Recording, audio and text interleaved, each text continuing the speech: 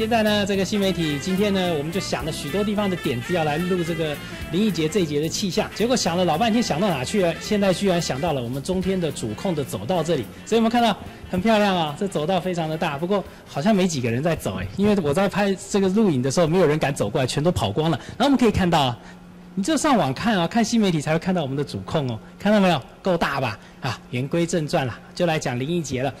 哎，林义杰他在上个礼拜的时候开始呢，逐渐的就已经进入到了这个新疆的这个位置了。那进到了新疆之后呢，当然新疆产最多是什么？水果哦。现在许许多多水果都在新疆啊，什么哈密瓜、葡萄啊，这些都是在新疆这些个地方。因为最主要呢，这个地方现在是整个大量的农作物的产地，所以你注意看哦，包含许许多多的葡萄干哦。哎，葡萄干的那个产地都是在新疆呢。倒是啊，林义杰到了新疆之后呢，在礼拜天的时候，天气状况来说还不错。但是他会发现到什么温度越来越高，因为刚好有高压在附近，所以呢，到了礼拜天到礼拜一的时候，温度甚至会达到三十四甚至三十五度以上的高温哦。但是要注意哦，在礼拜一之后开始啊。北方会有一道低压带刚好要下来了，所以呢，相对的就会有些阵雨的状况发生了。时间呢会在礼拜二的时候呢就会有些短暂雨，不过下雨的时间并不会太多，大概就只有一天到一天半的时间。之后天气就开始好转了，所以呢，从礼拜三以后天气开始好转。礼拜四到礼拜六的这段时间来说呢，又是回到一个晴朗。